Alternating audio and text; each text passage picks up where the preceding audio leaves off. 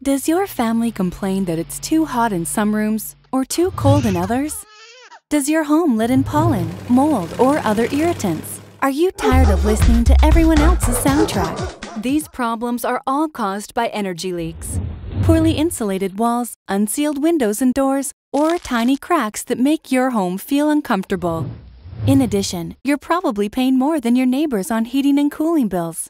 Understanding how your home suffers from these problems used to be expensive and time consuming.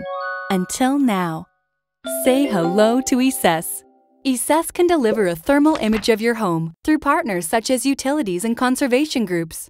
These images can help find the energy leaks that impact your home's comfort and utility bills. Thermal images only show the amount of energy leaking from outside your home, not what's going on inside.